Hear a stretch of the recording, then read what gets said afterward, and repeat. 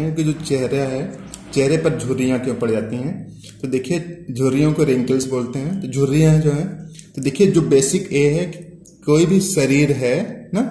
कोई भी शरीर है, उसकी सबसे छोटी यूनिट क्या है? स्ट्रक्चरल और फ़ंक्शन यूनिट क्या है? कोशिका है। इस कोशिका में सेल में, सत्तर परसेंट क्या है? वाटर है। और तीस परसेंट क्या है? साल्ट और मिनरल है, ना? तीस परसेंट साल्ट और मिनरल है।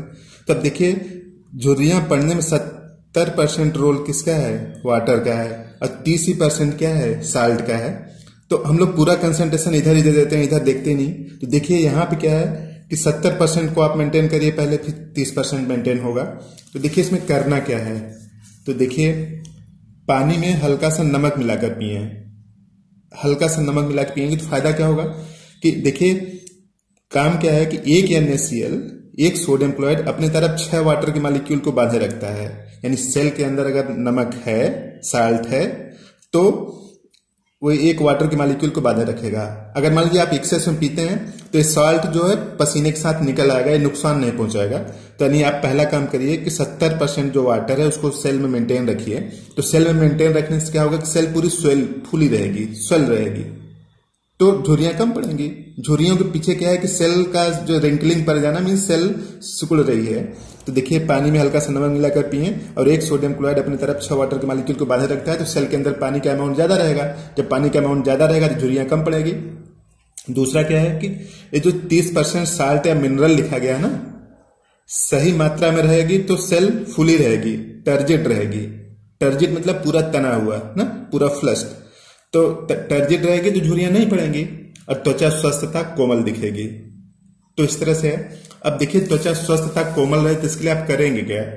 करना क्या है कि पके हुए पपीते को पीसकर पीसकर चेहरे पर लेप करें। हाँ? यानी गुदा उसका निकाल लें उसको पीस लें फिर चेहरे पर लेप करें। त्वचा कोमल होकर निकल उठेगी। पहला है, आसानी से कर सकते हैं घर में भी। दूसरा है, नारंगी के जब छिलके लाएँ, नारंगी जब लाएँ तो उसके छिलके को फेंके मत। नारंगी के छिलके को सुखा लें, सुखा, सुखाकर पीसने के बाद दूध में पेस्ट बनाकर चेहरे पर लगाएँ। यानी देखिए, आप नारंगी खा लीजिए, और जो छिलका है उसको फेंकिए मत, उसका भी काम है।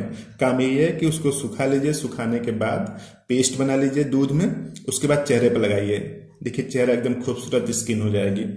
और तीसरा हुक्म का क्या कर सकते हैं कि दूध जो है ना, दूध की मलाई प्लस शहद, दूध की मलाई प्लस शहद मिलाकर त्वचा पर मले, त्वचा एकदम दमक उठेगी, खूबसूरत त्वचा हो जाएगी।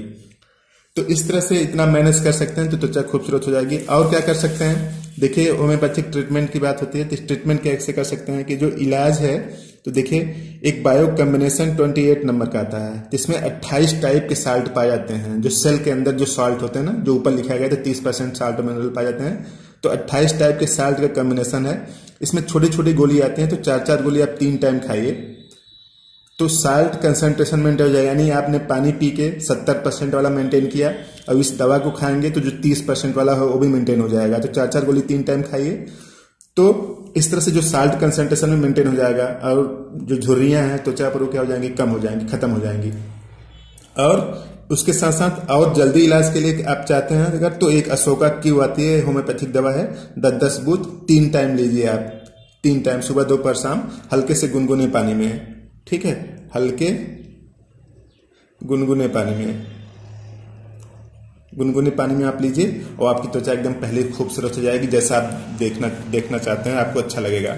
और बेहतर सहायता के लिए मेरा व्हाट्सएप नंबर है चौरानवे पचास साठ इकतालीस इक्यावन पर आप कांटेक्ट करें, आपकी और सहायता की जाएगी। थैंक यू धन्यवाद। और आप कमेंट बॉक्स में लिख सकते हैं, आपको अच्छा लगा तो भी लिखिए और प्लीज़ इसको सब्सक्राइब करिए। ताकि ज़्यादा लोग इसे जुड़ सकें और नए अपडेट आपको मिलते रहें। थैंक यू धन्यवाद।